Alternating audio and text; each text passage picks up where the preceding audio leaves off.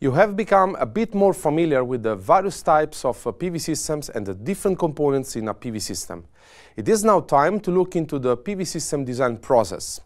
Whether you want to match the power consumption of your domestic loads or you want to optimize a PV system for a certain location, the goal of any design process is to accurately predict the energy yield of your system. In this video, you will learn about all the different steps involved in PV system design. The performance of a PV system is strongly location dependent. The design process therefore starts with collecting meteorological data for the specific location of your PV system. Important uh, meteorological parameters uh, are uh, the solar irradiance, the ambient temperature, and the wind speed. There are a number of meteorological databases available online. Uh, some global databases provide uh, free meteorological data, such as uh, PVGIS, uh, Solar Database, and the NREL National Solar Radiation Database. An accurate energy prediction requires more than just uh, the local meteorological data.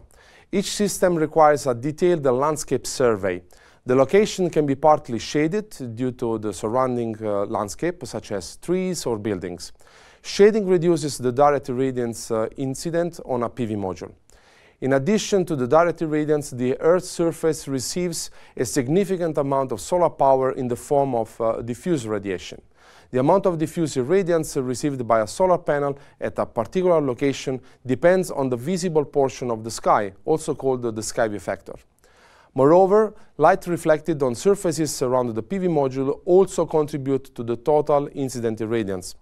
In the second week of this course, uh, you will learn that the intensity of the light that reaches the module after being reflected by the ground is proportional to the albedo coefficient of the ground surface. A PV system is not as such without uh, some PV modules. There are uh, uh different PV technologies available on the market, such as mono and uh, polycrystalline silicon PV modules thin film PV modules, and even flexible PV modules. The PV modules come in different shapes and sizes. Each PV module has different electrical properties, such as open circuit voltage, short circuit current, and peak power. The modules can be connected in various ways to form a PV array. The manner in which the modules are interconnected determines the output voltage and current of the array. The meteorological data and the surrounding landscape uh, all influence the incidence irradiance on a module uh, of a certain shape and size. In order to estimate the irradiance incident on a module at any given time, we also need to consider the tilt and the orientation of the module. The incident solar irradiance on a PV array is also known as the plane of the array irradiance. The plane of the array irradiance is a combination of direct, diffuse, and ground irradiance. The plane of array irradiance varies uh, throughout the day due to the movement of the sun in the sky. By estimating the plane of array irradiance for a given module tilt, angle, and orientation, we can find the optimal tilt and orientation for a PV system in any location. The power output of a PV module does not only depend on the incident irradiance. The temperature of the modules play an important role too. The module's temperature can be estimated by a fluidodynamic model. Such a model is based on a detailed energy balance between uh, the PV module itself and uh, the surrounding environment. The model takes into account the mounting configuration of the PV modules, the temperature dependence of the specific PV technology, the irradiance incident on the module, and uh, the meteorological data such as the wind speed and the ambient temperature.